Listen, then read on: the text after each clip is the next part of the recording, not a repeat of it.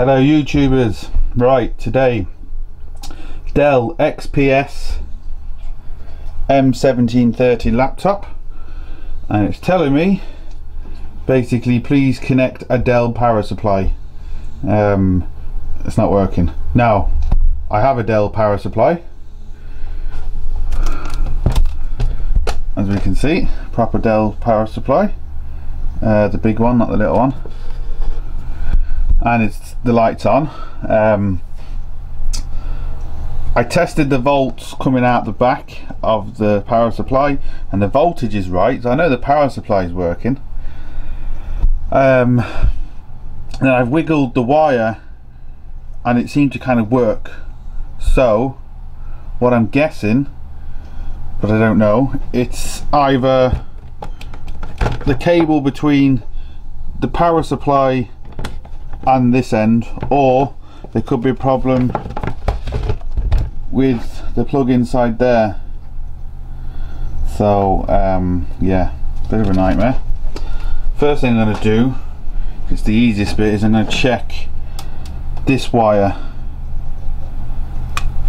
Or should say this end sorry. Because obviously I don't have to strip anything out. It's a lot easier to get to that than the motherboard.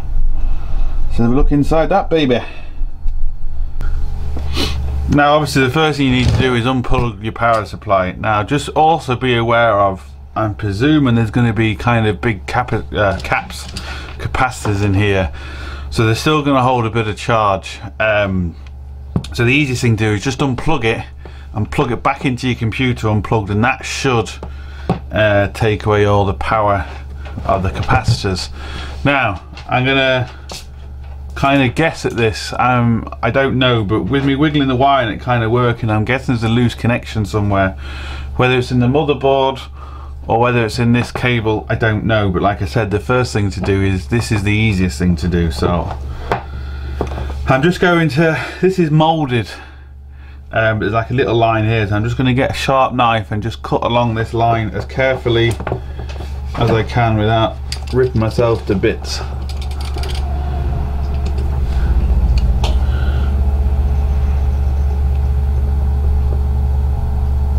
Actually quite um, soft rubber, which is good.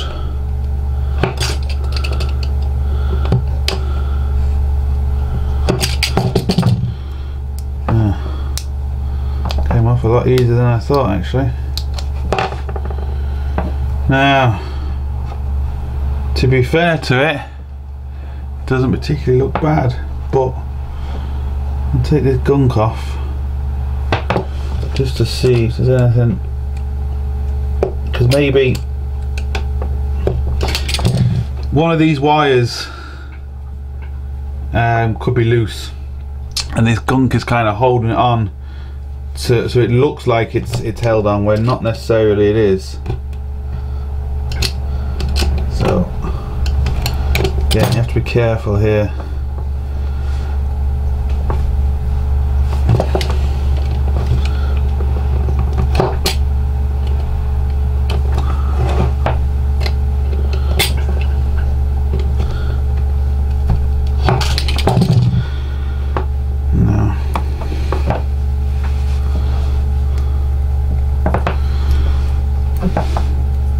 fair, it's not looking that promising. This all looks good.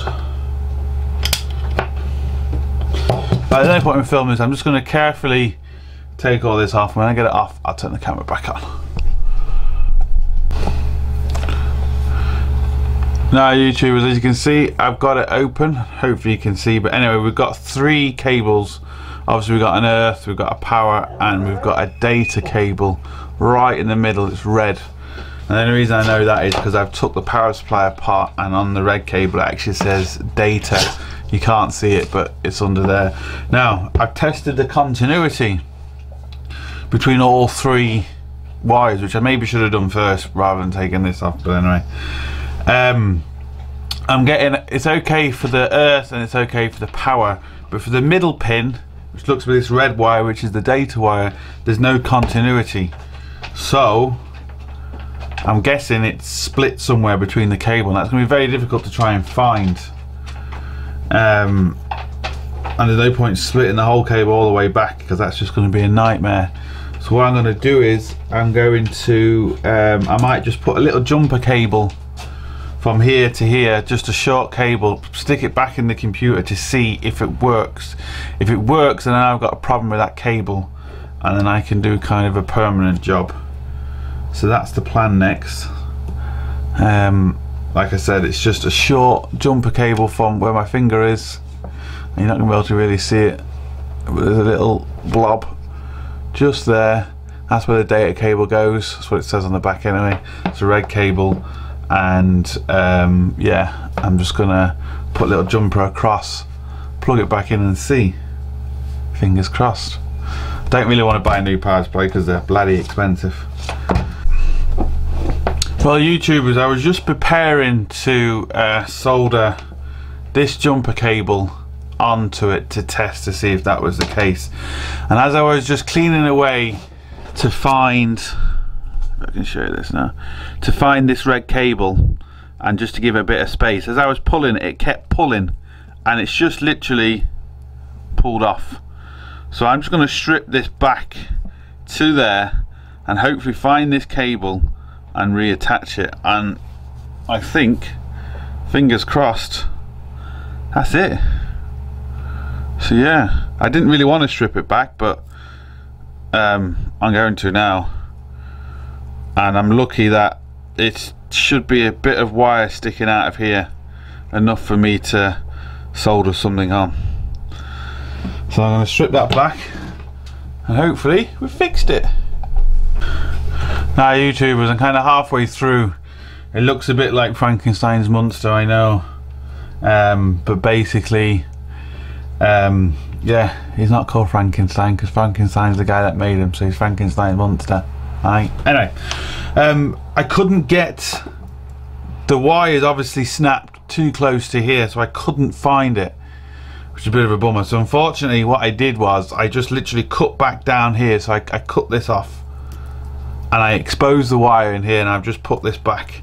And what I've done is I've just soldered a wire, I've heat shrink both ends of it and I'm just going to put it all back. Now what you have to be careful of, there's, a, there's an awful lot of shield in here and obviously you want to try and get that back as best you can because it could be some sort of interference. So basically, as you can see, I've heat shrink that end, I've heat shrink that end. I'm, I'm literally going to tape on the outside. Now I'm hoping this is going to work, I'm still not 100% but um, this wire is broke anyway so it's not doing what it's supposed to be doing. So I'm just going to try and hopefully get this back nice and neat um, with a lot of care and literally just um, tape it all back together nice and neat and it shouldn't really be that noticeable as such so yeah I'm gonna get it all nice and neat turn the camera back on now YouTubers as you can see I've literally taped up both ends. This is the wire. I'm, I'm still going to tape up this, but I just want to do a bit of testing first. Obviously, the first thing I want to do is plug this in without plugging it into the laptop. Just to, I'm going to double check the voltage just to make sure nothing blows up, nothing happens. Because the last thing you want to do is plug this into your laptop and it blows your motherboard because something somewhere has happened. Um, so that's what I'm going to try next. Now YouTube still have a problem. When I tried to test the continuity of this data cable, as you can hear, nothing's happening. It's supposed to be beeping. But what I did do, typical it won't do it now, we have continuity, I lift the wire up, we don't.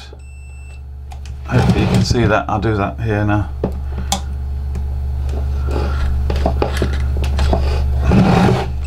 Now, have continuity, lift the wire up, we don't. Have it. Right, so we have another break in the wire.